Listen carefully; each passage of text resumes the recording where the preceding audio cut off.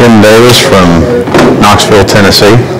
Uh, Don't really know how to explain it yet, just getting to where I can actually talk again after having just been crowned the champion for the first kayak series bass tournament.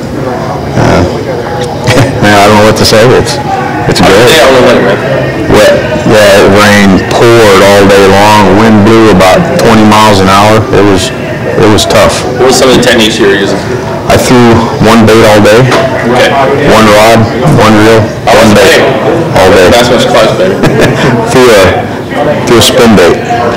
No, yeah, not my normal lure, but it was the only thing I had that actually matched the size of the shad that I've been seeing in the water. So picked it up and threw it and boom. Were you dragging it? No, I was, uh, where I was fishing had a bunch of rocks on the bottom, so I was trying to keep it up off the rocks.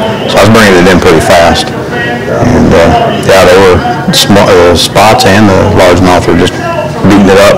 I think I caught probably 40, 45 fish yesterday, What was your biggest bass? 20 inches.